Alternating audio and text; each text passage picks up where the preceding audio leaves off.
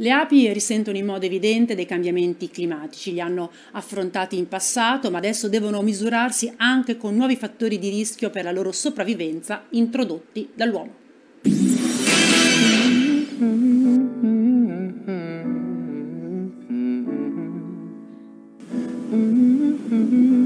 L'ape da miele, così come tutte le altre api, meglio conosciute come api selvatiche o in generale insetti impollinatori, hanno affrontato eh, diverse crisi climatiche nel corso della loro lunghissima storia, perché esistono sulla Terra da ancora prima dei dinosauri. Però la crisi che stanno affrontando in questo momento va di pari passo con altri fattori di rischio che sono stati introdotti invece nel mondo dall'uomo.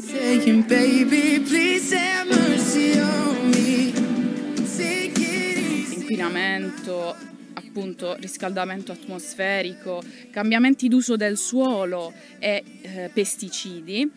Tutto questo insieme comporta un maggiore rischio per le api. Questo territorio si sono avuti anche tanti danni alle colture a causa dei nubifragi violenti, degli sbalzi di temperature, per esempio sotto Natale abbiamo avuto un gran caldo, poi subito dopo invece un gran freddo. Eh, tutto questo che cosa comporta? È un danno enorme per l'apicoltura perché vi spiego l'anno scorso abbiamo avuto famiglie che si sono eh, sviluppate nel periodo invernale, quindi arrivando più o meno a febbraio-marzo a dimensioni eh, da produzione, cioè su 6-7 telai.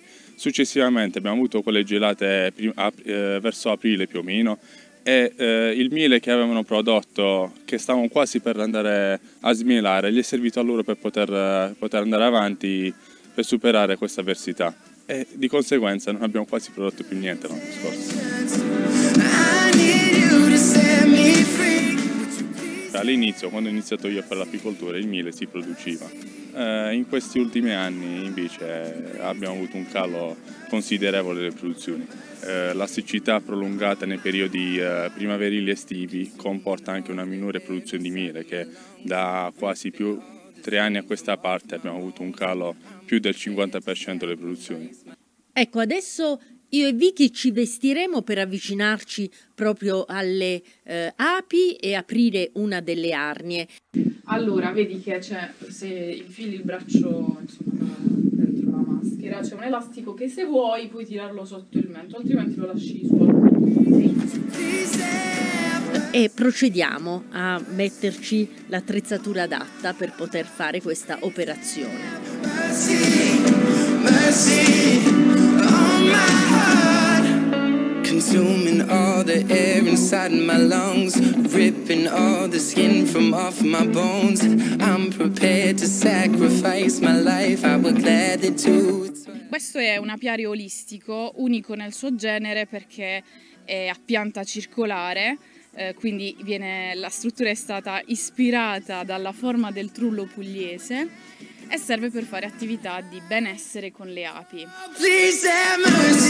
Queste sono famiglie piuttosto piccole, ma che stanno iniziando a covare da qualche giorno. Si può dire che la regina ha ripreso lentamente la sua attività. Eccola qui, l'abbiamo trovata subito.